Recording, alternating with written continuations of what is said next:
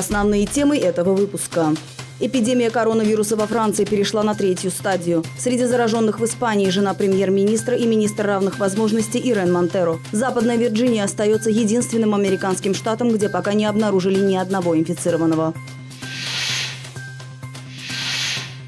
17 человек погибли в Нигерии в результате мощного взрыва на участке нефтепровода. Первый полет аэротакси СЭТ запланирован на 2022 год. А теперь подробнее.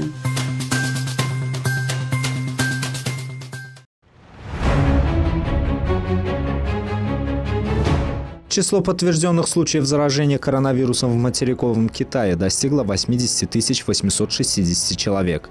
Из них 3213 пациентов скончались, свыше 67 700 излечились и выписаны из больниц. За последние сутки в стране было выявлено 16 новых случаев заболевания, зафиксировано 14 летальных исходов. Из больниц выписали 838 пациентов.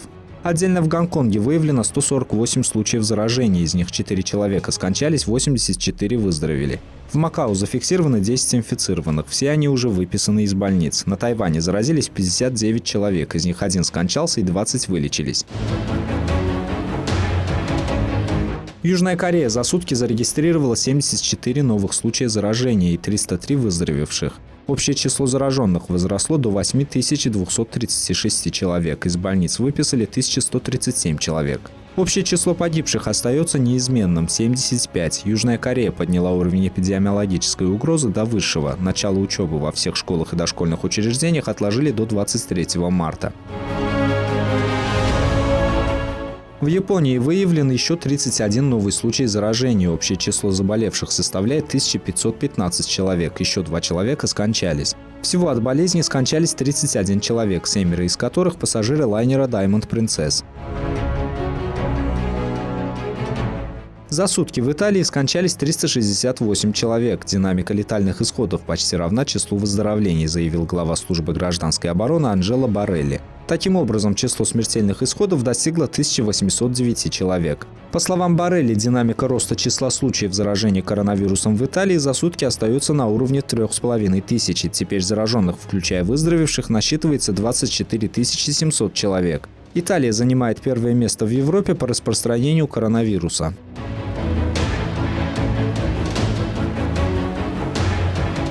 Во Франции число заразившихся коронавирусом возросло до 5400. Таким образом, за сутки число заболевших возросло более чем на 900 человек. В результате болезни скончались 120 человек. Эпидемия коронавируса во Франции перешла на третью стадию. 14 марта премьер-министр страны Эдуард Филипп объявил о закрытии кафе, ресторанов, кинотеатров и непродовольственных магазинов. Открытыми останутся аптеки, продуктовые магазины, банки, АЗС и табачные киоски. Французские власти призывают сограждан сократить передвижение и отложить поездки. В Испании за минувшие сутки от коронавируса скончались почти 100 человек, около 2000 заразились. Таким образом, число погибших от болезни в стране составило около 300 человек, 7700 человек заразились. Среди зараженных жена премьер-министра Испании Педро Санчеса и министра равных возможностей Ирен Монтеро. Число погибших от коронавируса в Великобритании за сутки увеличилось до 35. Число заразившихся по состоянию на утро 15 марта возросло с 1140 до 1372. Тесты на коронавирус были проведены у 40 279 человек, отрицательных результатов 38 907.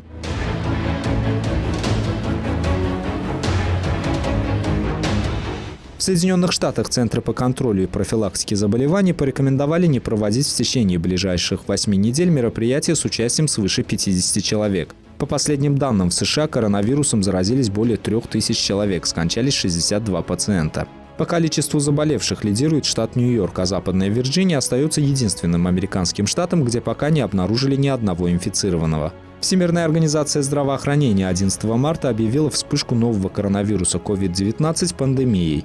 В мире заражены уже более 153 тысяч человек, более чем в 140 странах. Большинство выздоровели, 5700 человек скончались. Ровшан Ильясов, CBC.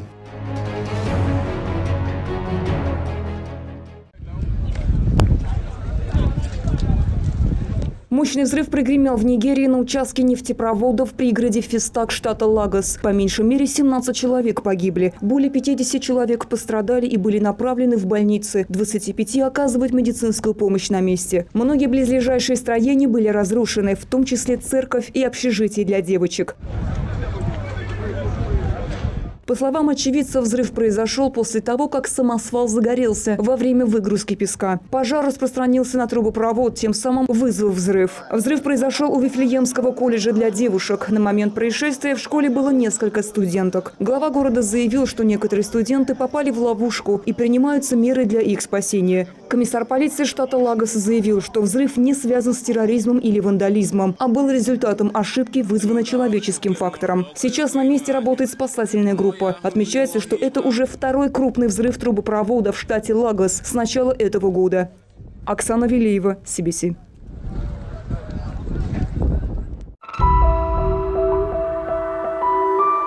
Рост уровня моря в результате таяния ледников – одно из самых разрушительных последствий глобального потепления. Наибольший вклад в этот процесс дают Гренландия и Антарктика. И как показывают последние исследования, скорость таяния в этих регионах только увеличивается.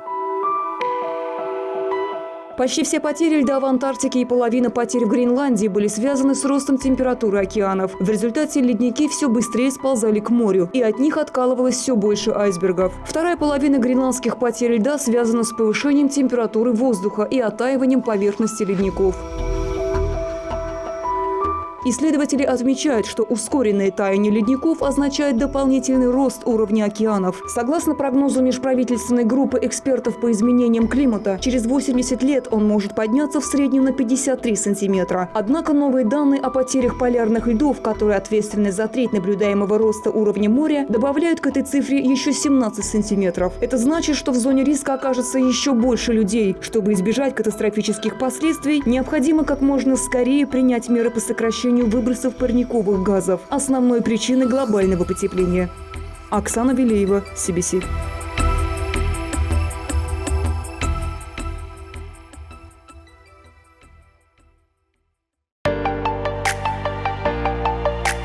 Немецкая компания ESIT запланировала первый полет аэротакси SIT на 2022 год. Перспективный аппарат с замкнутым контуром крыла сможет брать на борт до четырех пассажиров. Особый упор делается на низкий шум. Предполагается, что при взлете аппарат будет выдавать шум на уровне 65 дБ, поэтому не будет особо выделяться на общем фоновом шуме города.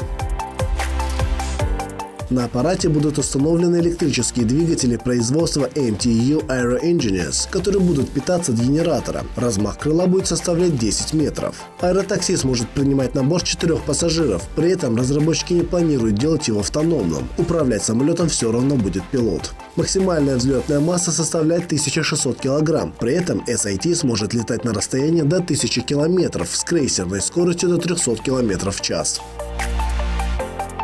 Пока что самолет все еще в стадии разработки. До сих пор представлен лишь макет и у компании еще нет работающего прототипа. Тем не менее, первый полет SIT запланирован на 2022 год, а сертификацию CS-23 компания планирует завершить в 2024 году. Атарух Ахмедов, CBC.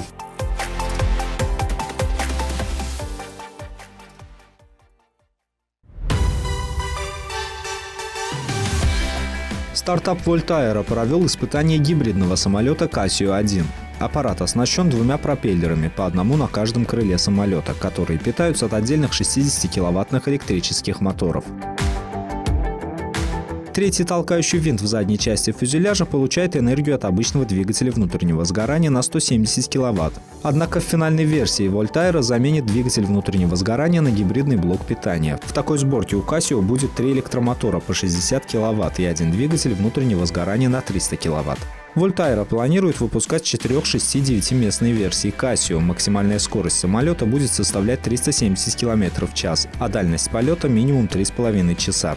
Поставки начнутся в конце 2021 или начале 2022 года. Ровшан Ильясов, CBC.